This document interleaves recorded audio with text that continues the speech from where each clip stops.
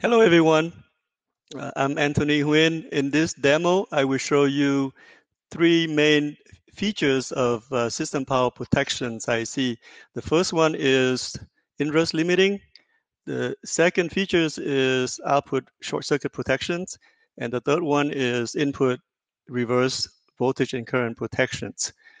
So I'll be using uh, this board right here.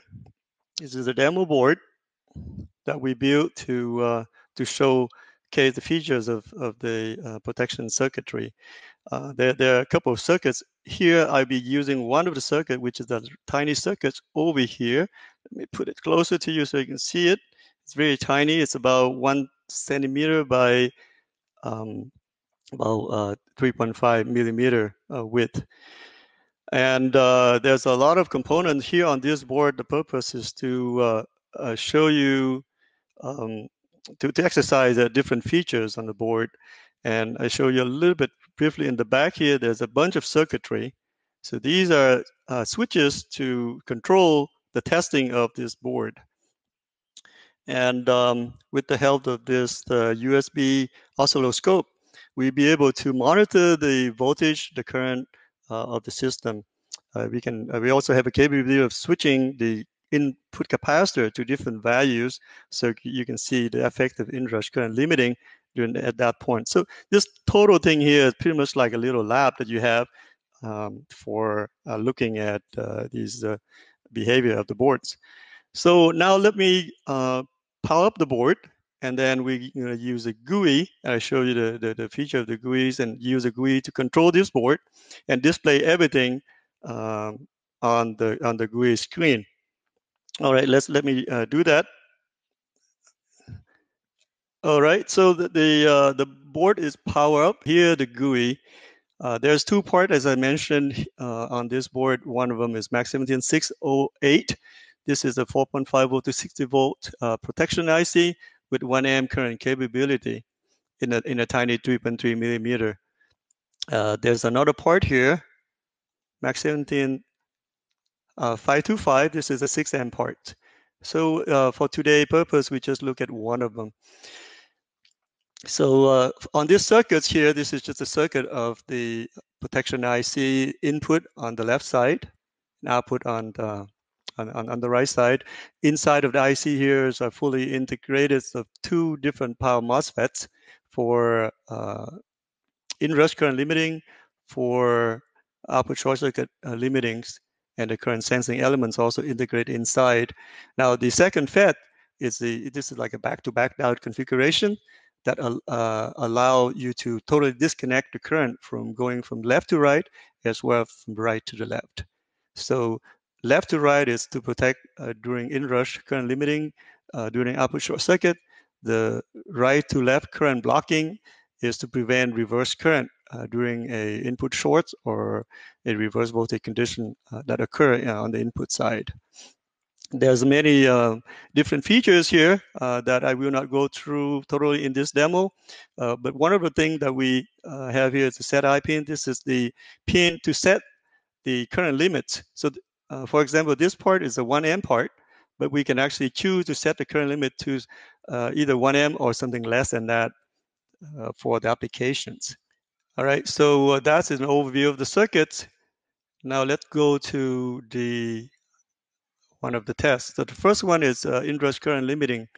So over here, I have um, this button here to choose uh, different uh, setting current level from 25%, 50%, 75%, 100%. And also this is the load capacitance uh, of the circuits. And as I hit run, you can see here that at time zero, the voltage is being uh, turned on. The current is limited to 1 amp. So during that time, it, it, because the inrush current is controlled at 1 amp, the uh, output voltage rise up as a linear rate of, you know, following the equation I equal to C dVdt, right? So it takes this much time to, for the output to charge from zero to uh, 24 volt linearly with a constant current limiting. Uh, we can uh, reduce the current, say to 50%. So what would happen here is at 50%, uh, we will reduce or limit the current to half an amp. So with less current charging output capacitor, you would expect that the output voltage will ramp up even slower. So let's try that. So here it is. So now the current is limited to 5 amp and the output ramp up to about twice as long.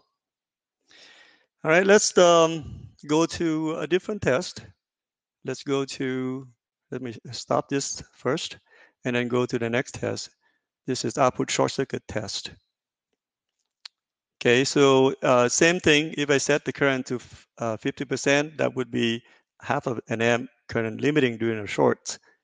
The output capacitance doesn't really make much difference here in terms of short circuit testing. So let me run that. Okay, so there it is. So, so initially, uh, the output voltage is at 24 volts. So at time zero, we apply the short circuit on the output, and the output voltage is being shorted to ground. And you can see that the current is limited to half an amp for about 25 milliseconds, uh, this which is a T blank uh, time. It's allowed the circuit to be in short circuit condition for this much time, and then the part will shut down.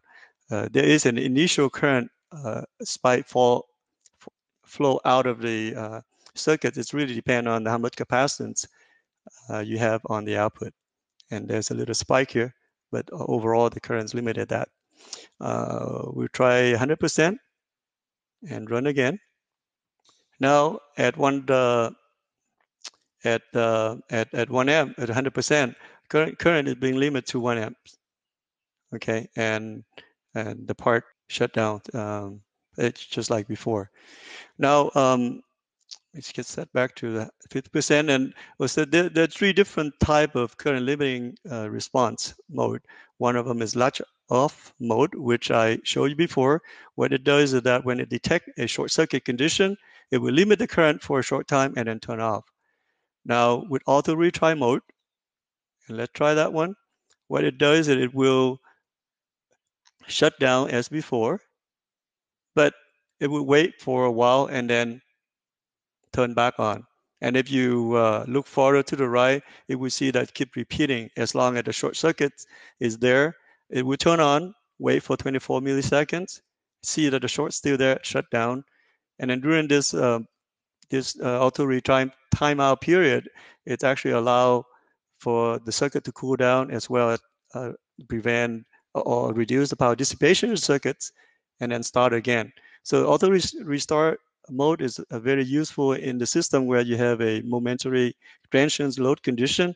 The part can shut down for a short time, but auto restart. So there's no need for um, people intervention to restart the whole system. Continuous mode is a, seldom used, but in cases where you need to have the current to be continuously limited. So let, let me try that. So, so this is a continuous limit uh, mode. So the current is being limited because of the resolution of the oscilloscope. It's hard to see. It it, it uh, limited at uh, at 50% of what we want here, half an amp. And um, a, a word of caution is that in this mode, because you have a lot of current flowing through the system, uh, there there'll be a lot of power dissipation in the protection IC. So this is uh, usually it run until the part hit thermal limits. So um, normally we see people using either latch off mode or the retry mode. So now let's go to the final one. This is the input short protections. And let me try to run that.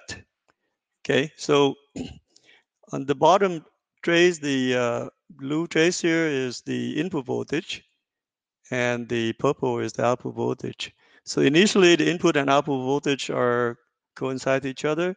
At time zero, we short the input to ground.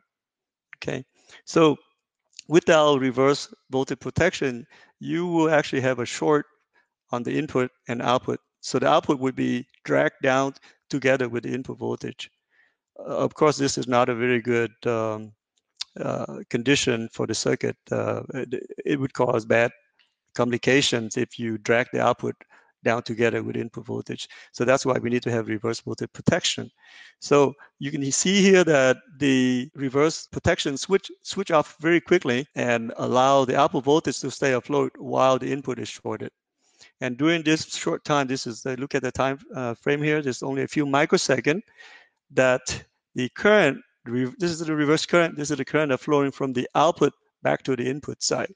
Okay, the current surged up to, um, in this case, about half an amp, uh, just really limited to how much uh, resistance in the power pad and how much capability of the output I can drive back to the input. Of course, we want to keep this current to be as small as possible. You see that current is spike, spikes up, but then the, be, being controlled because the uh, protection, reverse protection switch is turned off. And then at some time later, the input uh, is allowed to switch back on and everything go back to normal. Uh, um, in, in this uh, test, we have another option just to do the indefinite shorts of the input. And let's run that. Okay, so here it is. Again, same thing at time zero, the input is shorted to ground. And you can see that the condition, this condition can be there indefinitely, and the output voltage is being uh, protected by not uh, being dragged down with together with the input. Uh, if you look at this one in a longer time scale, of course, the output voltage is going to be depleted uh, eventually because there's nothing supplying to it anymore. So just the output capacitor is going to be discharging to whatever load that was uh, applying to it. So again, uh, let me go back to the overview here. This is an overall protection circuit, uh, comprehensive protection that has all everything integrated inside. And I've shown you the inrush current limiting features. I've shown you the output short circuit protection features, and I show you the input short circuit protection feature as well. Uh, also, the capability of setting different current limiting. Uh, there's other features like under undervoltage lockout, UVLO, and other things that uh, not covered in this demo. Uh, that'll be a, a, topic for a next uh, demo. Or if you need more information, please uh, visit Maxim Integrated website. Thank you very much for watching. See you next time. Bye bye.